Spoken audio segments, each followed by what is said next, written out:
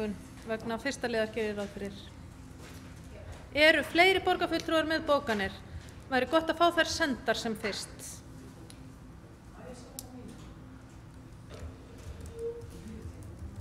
Borgarfulltrúar Áslu Marja Friðriksdóttir,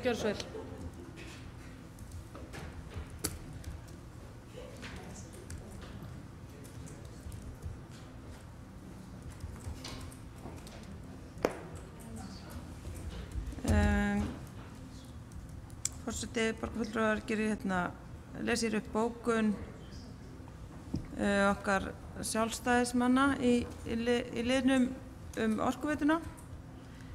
Bókun okkar er á þessa leið, um leið og meirihlutin í Reykjavík gerir ráð fyrir því að árið 2018 verði arðgreiðslur orkuveituna til borgarsjós 1 miljardur er eðlilegt að borgarstjórn taki afstöðu til þess hvort íbúar fái einni að njóta betri stöðu félagsins. Íbúar tóku á sig miklar hækkanir orkugjalda þegar illa áraði og því eðlilegt að einhugur værum það í borgarstjórn að þeir fái einni að njóta þegar vel gengur. Fulltrúar sjálfstæðisflokksins telja það óþarfa feluleik að vísa tillögun inn í borgaráð. Þar eigi færri, þar eiga færri lýræðislega kjörni fulltrúar aðkomu en í borgarstjórn. Eins eru borgarstjórnafundir opnir almenningi og efni þeirra aðgengilegt. Borgarásfundir eru hins vegar lokaður vettvangur, þar sem fáir borgarfulltrúar eiga sæti og aðkoma almennings engin. Þá er óskýrt af hverju taliðrast til að hann hafi erindin í borgaráð frekar en að beina einfallega skýrum skilabóðum frá borgarstjórn til stjórnar orkuveitur Reykjavíkur um að skoða hvernig og hvenær lækka megi orkugjöld. Í tillögunni er þess einmitt gætt að svigrum gefist þess að sapna, meta og greina nöðsuleg gögn til að byggja frekari ákvarðanir á. Sú vinna fer eðlilega fram innan orkuveitunar en ekki borgaráðs. Bókun líkur. Borgarfulltrúar Áslu Marja Friðriksdóttir hefur lokið við að gera grein fyrir bókun. Þá gerir háttvirtu borgarstjóri grein fyrir gagnbókun.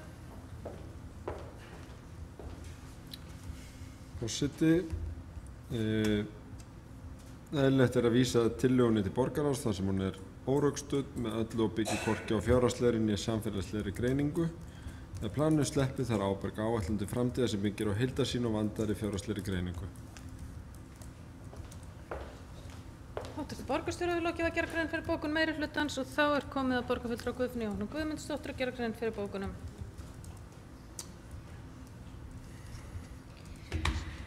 Eh, Forseti borgarfulltrúar líður eitt. Orkuveita Reykjavíkur hækkaði veruleg orkugjöld til heimilana vegna slæmra fjárhagsstöðu sinnar. Staða orkuveituna hefur batnað verulega og því er eðlilegt að svo hækkun sem varð verði látið ganga tilbaka.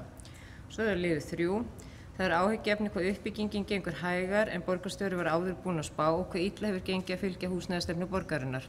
Í mars 2014 spáði borgarstjóri þá fórumaður borgaráðs að byrja er að byggja 950 íbúður á árinu 2014 og í nóvember 2014 spáði hann því að byrja að byggja 1900 íbúður árinu 2015.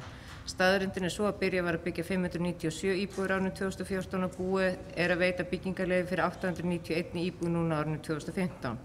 Ef áallanir borgarstjóra nú ganga upp verður byrja að byggja um 5.000 íbúður næstu 5 árin. Það verður spennandi að sjá hvort byggða verður 2500 til 3000 leigu búsettur réttar íbúður á 5 árum en nú er liðið tæft 1,5 ár síðan því var lofað. Hlutverk borgarna er að skipulegja borgina svo hægt sé að byggja út út af lóðum. Flesta þær lóðir sem verið er að byggja á eru lóðir sem búnar eru að vera í höndum annara aðurinn en borgarna lengi og ekki að sjá að þar verði til sölu ódýrar íbúður eins og sjá má á fasteignaauðlýsingum.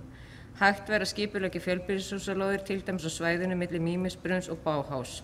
Setja þær í forgang að fjölga félagslegum leiguíbúðum, útluta lóðum undir stúdendaíbúður og útluta lóðum til félaga sem eru rekin án hagnaðarsjóna með til þess að byggja leigu og búsréttar íbúður meðal annars fyrir ungt fólk sem á ekki eigi fjeki hemst ekki gegnum greiðslimat, býr í fóröldrósum eða ósamþýttu húsnæði eða leigir almennu leigumarkaði langt umfram greiðslugetu. Borgarfulltrúar Guðfinna Jóhanna Guðmundsdóttir hefur gert grein fyrir bókunum og fórseti kveitur borgarfulltrúar til að hafa bókanir eins stuttar og mögulegt er. Þessi setni var í lengri kantinum. Ekki verið að gera rættarsendur við það.